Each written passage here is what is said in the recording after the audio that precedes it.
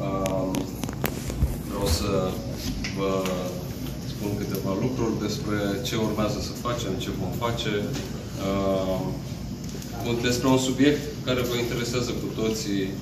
uh, cum putem scăpa de vizele uh, de intrare în America. Lucrăm intens la acest proiect și evaluarea noastră este că în 2 ani de zile vom putea să eliminăm vizele pentru America.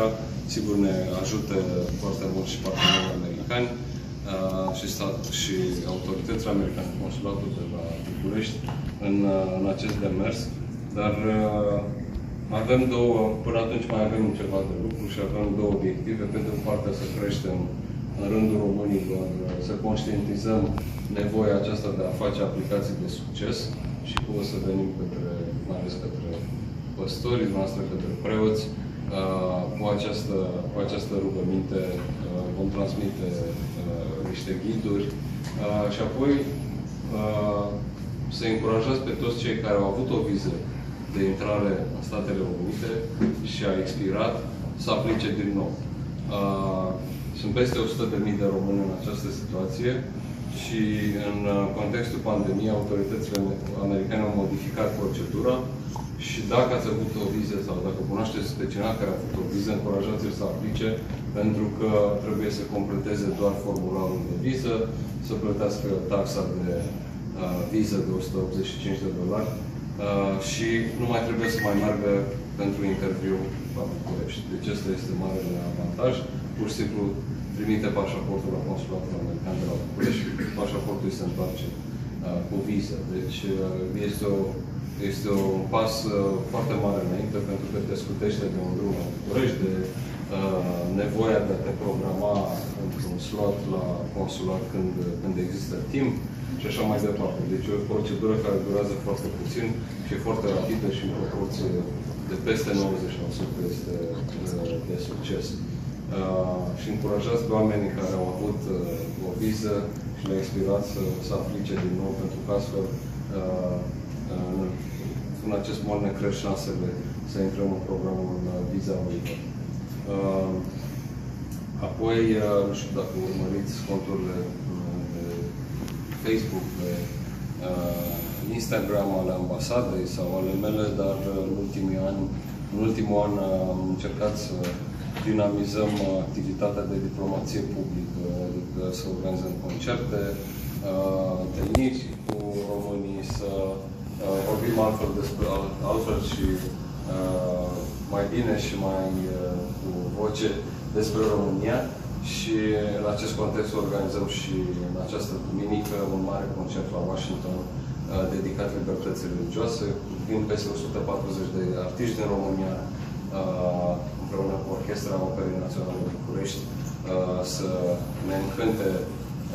și să celebreze libertatea religioasă, o temă pe care uh, am gândit-o pentru că România e o țară care a trecut de la un regim uh, care își persecuta cultele la un regim care uh, apără libertatea religioasă, care încurajează uh, uh, acest uh, credincioși să, să apere sau cetățeni, să, cetățeni să-și apere, să apere acest principiu fundamental al lumii democratice și vor fi acolo în sală, vom avea peste 2000 de invitați români și străini. Uh, apoi, uh, știți foarte bine că lucrăm cu toții să creștem această relație specială între România și Statele Unite, uh, pentru că avem în momentul acesta aproape 5.000 de militari americani pe care îi găzduim în România, avem baze militare americane în România, avem o relație foarte bună în domeniul energiei, dar sigur că e loc și de mai bine. Și ce vrem noi să avem mai multe investiții americane, americanii să depună mai mult efort și să vină mai aproape către România și în alte domenii, în domeniul educațional, în domeniul tehnologiilor avansate și lucrăm în această direcție cu toții. Apoi încercăm să, să îmbunătățim în fiecare zi activitatea consulatelor noastre, vom avea noi consul și la Los Angeles, și la Miami, și la New York. și vreau să ne spuneți și să-mi spuneți uh, dacă ați întâmpinat probleme. Sigur, nu e un sistem perfect, dar față de acum 10 ani de zile, uh, aș spune că în aproape 80% din cazurile uh, românilor pe care i-am întâlnit și am discutat despre asta, lumea este mulțumită, despre foarte mulțumită, pentru că uh, e un uh,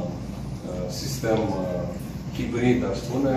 deci aplicația se validează, se face o aplicație uh, online pe consulat.ro și apoi uh, uh, se validează cererea și merge în final la consulat dacă e nevoie de o procură sau un, sau un pașaport să, să, să fie fotografiat și să semneze această aplicație. Și uh, credem că putem să facem și mai multe lucruri și mai bine și ne uităm în multe comunități uh, uh, la nevoi. Avem și consulatele onorifice, uh, consulatele itinerante cu care venim și dacă aici se adună un număr suficient de cereri, putem să trimitem o echipă consulară, există un calendar care se face la începutul anului, pe care noi l-am stabilit, dar dacă există suficiente cereri, putem să mai, să mai trimitem să trimitem aici o echipă care să stea într-un weekend, știți foarte bine, de obicei la o biserică, să ne găzduiască uh, un weekend întreg și să, uh, și să facem aceste servicii consulare pentru, pentru români. Uh, și încurajez pe toți românii să-și facă documente și să facă acte la copii, pentru că aveți numai beneficii de aici. Un pașaport este valabil 10 ani de zile și uh, e o perioadă destul de lungă uh, și apoi nu, mai, nu mai trebuie să mai, să mai călătoriți pentru un alt, uh, la consulat pentru un pașaport.